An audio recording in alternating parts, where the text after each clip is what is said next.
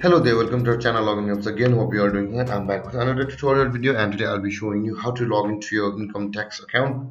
And now without further ado, let's start right into the video. But before that, don't forget to like, subscribe and hit that bell icon for more videos. Okay, on your computer, first open up your preferred browser. For me, it will be Google Chrome and you can see the source bar over here on the top of your Chrome. Click there and type either type incometax.gov.in like this and hit enter or you can just search for the income tax uh, in Google directly. You can see the first result will be incometax.gov.in itself and both will be the same thing. Now if you want to log into the income tax official website or the governmental website you can see the login page over here. Click on the login button to go to login page and after that uh, let's let the page load as you can see and now you need to use the PAN card or the Aadhaar ID or other user ID issued by the government itself and continue. And on the next page you will see your password uh, enter your password then and you will be logged into the income tax portal.